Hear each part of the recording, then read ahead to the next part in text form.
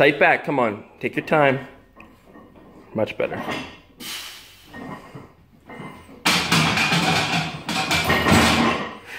Two, three. Yep.